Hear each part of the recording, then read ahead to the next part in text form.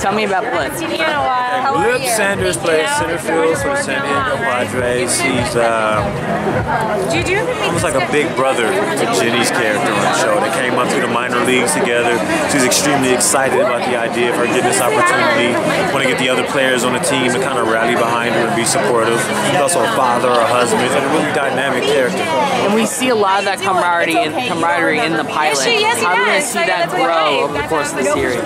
Yo, it, I don't want to give too much away, but you really see that familial vibe and that connectivity even outside of baseball with my character and her. It's like really a good Would you say that uh, Blip and Ginny are like their best friends, they're tight, but they're not love interests?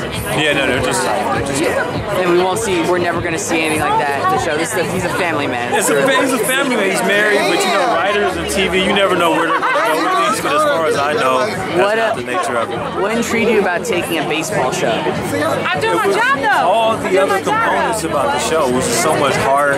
There's inspiration and there's like storyline, plot. There's this unexpected twist and turn. So it kind of checks everything, and the cast is incredible. My last question: What was the hardest thing for you uh, getting used to in trying to play a believable MLB player? Oh wait, my throwing slide. That's been the most difficult thing, is getting that right slide on the throw. Thank you very much, sir. Thank you.